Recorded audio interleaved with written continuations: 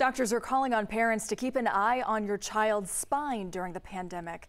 Experts tell 11 Alive they're recently seeing more kids come in with signs of scoliosis. Around 2 to 3 percent of kids have scoliosis. Dr. Nick Fletcher with Children's Healthcare of Atlanta says they're seeing the impact. We're seeing um, a fair number of kids come in with larger curves, and there's typically a common response from parents that is sort of shock and they're wondering, how did I possibly miss this?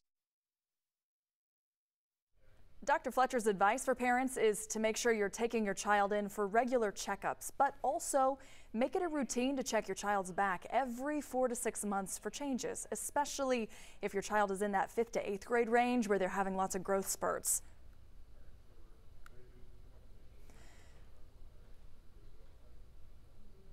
Also, watch for signs like uneven shoulders and shoulder blades, uneven hips, prominent ribs, or ribs sticking out in one area.